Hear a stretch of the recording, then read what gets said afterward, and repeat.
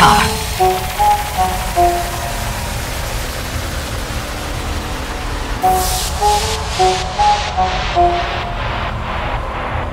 just want to repair it. We come from a very far away planet.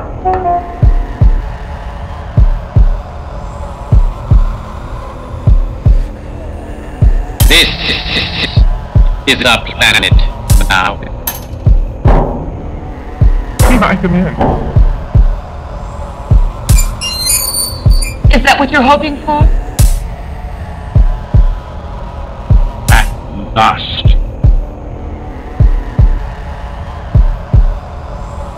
Oxygen 18%.